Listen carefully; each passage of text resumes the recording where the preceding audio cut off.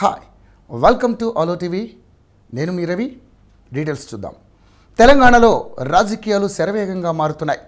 ఓవైపు బీజేపీ పట్టు కోసం ప్రయత్నిస్తోంది. ఉద్యమకారులు టీఆర్ఎస్ అసంతృప్తులను పార్టీలో జాయిన్ చేసుకుంటుంది. కీలక నేతలు తమ పార్టీలకు దూరం అవుతున్నారంటే చాలు. బీజేపీ నేతలు రంగప్రవేశం చేస్తున్నారు. అధికార ప్రతిపక్ష పార్టీల నుండి వచ్చే నేతలకు స్వాగతం పలుకుతున్నారు. ఇటు టీఆర్ఎస్ గతంలో కీలక పాత్ర పోషించి తెలంగాణ ఏర్పడ్డాక సైలెంట్ అయిపోయిన నేతలను ముఖ్యంగా తెలుగుదేశం పార్టీలో ఇంకా మిగిలిపోయిన నేతలపై గురిపెట్టింది. కాంగ్రెస్లో యాక్టివ్గా లేని నేతలతో పాటు బలమైన క్యాడర్ ఉన్న నేతలను పార్టీలోకి చేరికలను ప్రోత్సహిస్తోంది. ఇటు వైఎస్ఆర్ షర్మిల పార్టీ పెట్టి పాదయాత్రతో ప్రజల్లోకి పోయేందుకు రెడీగా ఉంది. ఇవన్నీ వచ్చే అసెంబ్లీ ఎన్నికలకు సన్నాహకాలే అన్నది సుస్పష్టం.